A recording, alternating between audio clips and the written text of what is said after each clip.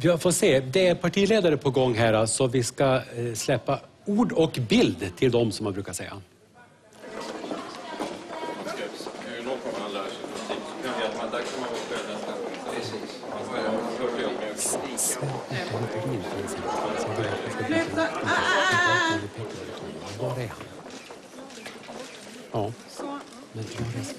Men flytta, flytta på dem. Flytta på er.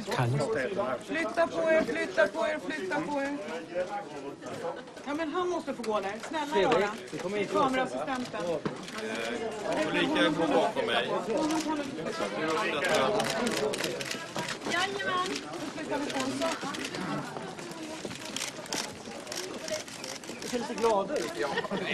Vi är ju mest oroliga för er.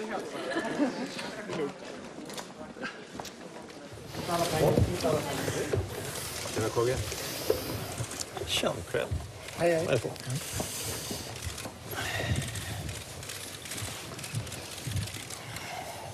Nu ska ni få en sportfråga. Hur känns det att ha brutit 12-årigt socialdemokratiskt maktinnehav? Vi börjar med dig Mo. Det känns som att hoppa 2,10 i höjd. Oj då, och med din längd är inte det dåligt. Göran Ja, men Hägglund. om jag skulle hoppa 2,10 i höjd, det är det jag menar. Göran Hägglund. Nej, alltså framförallt så, så handlar det naturligtvis om politikens innehåll. Att vi känner, tror jag alla, en, en väldig glädje över att få möjlighet att bryta med den politiska inriktning som Sverige har haft som har lett till hög arbetslöshet bland annat. Fredrik Reinfeldt. Ja, det känns historiskt. Det känns historiskt att vi har kunnat åstadkomma detta tillsammans. Det, Och det- du är historisk i en massa andra avseenden. Stö- Största eh, ökningen, eh, du bästa moderata valet sedan 1928, kosackvalet. eh, Hur reagerar du på det? Ja, alltså, Nya Moderaterna föll väldigt väl ut. Vi vågade ställa kritiska frågor och granska oss själva efter vår valförlust vid förra valet. Och, eh, det har handlat både om vår egen utveckling, det har också handlat om alliansens fördjupning. Alltså att vi har funnit gemensamma svar på Sveriges problem. Lars Leijonborg, vad känner du i det här ögonblicket? Du har gått tillbaka men Alliansen har vunnit. Helt fantastiskt. Jag sa på vår valvaka att jag är mycket gladare ikväll än jag var för fyra år sedan när vi hade gått fram. För det betydde ju ingenting i politiken. Nu kan vi åstadkomma någonting.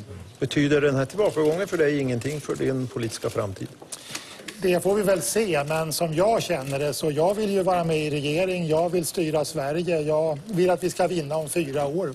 Kan du tänka dig att sitta kvar i regeringen som statsråd men avgå som partiledare? Jag har inte reflekterat över det överhuvudtaget. Nu som det känns just ikväll så skulle jag vilja vara med om fyra år också faktiskt. Fredrik Reinfeldt, när blir den nya regeringen klar?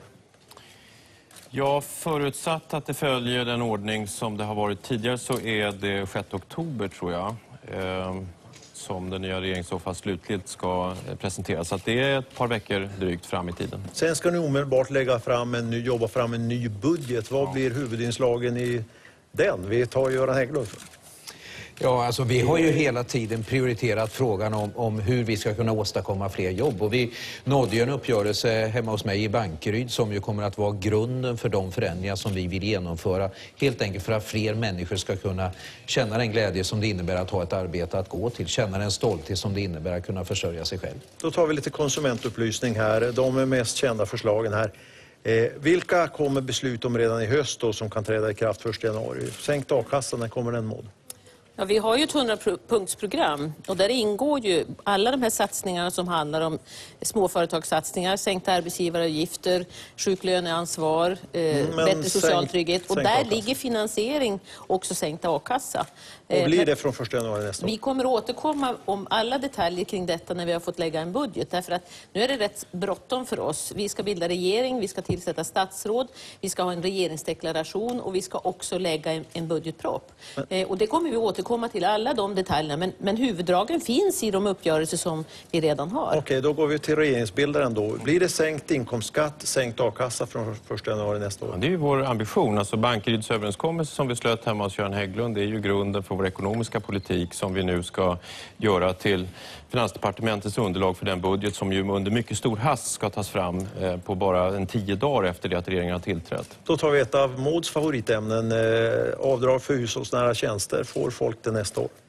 Det ligger också i de planer som vi har. Alla de här förslagen som vi har lagt fram på 100 dagar, de ska tas fram i den här budgetpropositionen. Men ha också respekt för att det är väldigt kort om tid för alla de här reformerna. Men vi har, vi har lagt ett mycket tungt program i början därför att vi vill få fart på jobben. Okej, Lars Leijonborg, den billiga tandvården, kommer det nästa år? Ja, visst ska vi ta ett första steg i en tandvårdsreform. Jag tycker dock att dina frågor är något felaktigt ställda i tiden. Vi borde väl kunna få hämta andan innan vi går in på detaljer. Men det är ju som Men nu är det ju så att ni är bättre förberedda har ni ju påstått än något annat. För Då är det väl rimligt att ställa de här väldigt För folk, två timmar sedan så stod det 175-174 och vi var inte alls säkra på att vi skulle få sitta här i soffan överhuvudtaget. Så Nu är det ju dessutom så att ni har haft en så kallad äntringsstyrka som har förberett allt det här. Hur eh, detaljförberedda är ni Fredrik Reinfeldt? Ja, fast eh, jag skulle säga att i politiken är vi eh, förberedda via våra brev. om Eh, hur regeringen ska arbeta, departementsindelning och liknande. Det har vi inte alls diskuterat. Så att, eh, men vi har, vi har nu tid att göra detta och det ska få ta den tid det behöver ta. Men den här så kallade äntringsstyrkan då, bestående av höga politiska tjänstemän från alla partierna, de har ju diskuterat till exempel, ska man nu ha enfärgade departement, det vill säga ska det vara bara eh, ministrar från samma parti i ett departement. Det är en metod som den förra borgerliga regeringen hade. Då hade man folkpartister i socialdepartementet, eh, centerpartister i miljödepartementet och moderater i utbildningsdepartementet till exempel. Är det en princip som ni vill ha?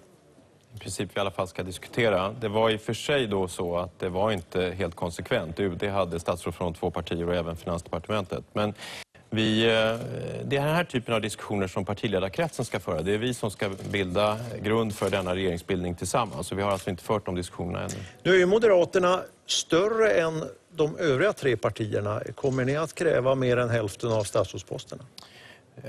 Vi, vi ska också föra den typen av diskussioner. Vi, eh, Okej, då för vi den här. Vad tycker du?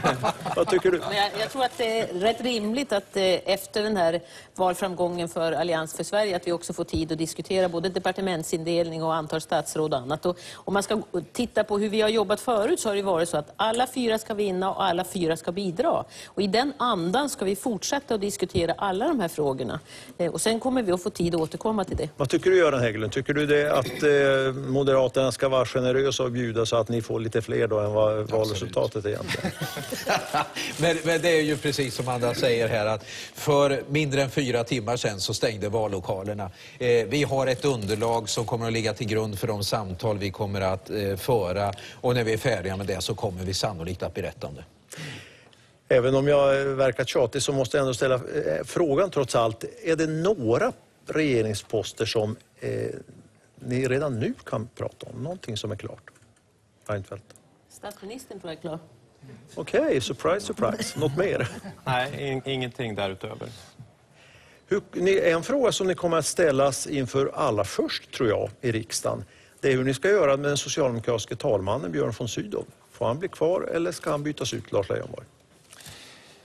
Jag tycker inte vi ska ge några besked överhuvudtaget ikväll faktiskt. Vi, vi har inte pratats vid förrän mer än ute i sminket här efter denna valseger så att det, det vore lite oansvarigt att börja ge besked om saker och ting. kan Vi kan väl få tala om hur lyckliga vi är istället.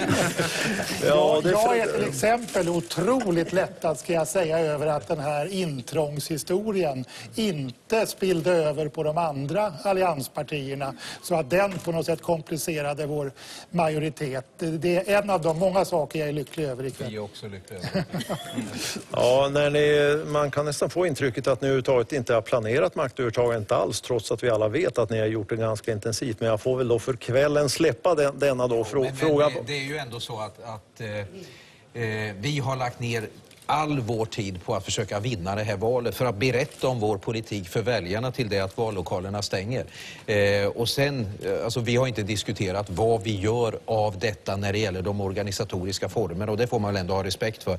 Eh, vi har satsat på politikens inriktning. Ska Ni tar- ihåg en sak tycker jag. Det är ju att tack vare att vi har ägnat mycket åt politiken och kommit väldigt långt i det så kommer vi också ha en annan regeringsbildningsperiod än vad tidigare regeringar. För de har både behövt diskutera diskutera politikens innehåll rätt mycket, eh, men sen också formerna för regeringsbildning. Nu är formerna klara. Eh, det är en majoritetsregering, det är de här fyra partierna, politiken är är i stort sett klar. Så att vi har ju ändå en, en lättare regeringsbildning än några tidigare borgerliga regeringar har haft.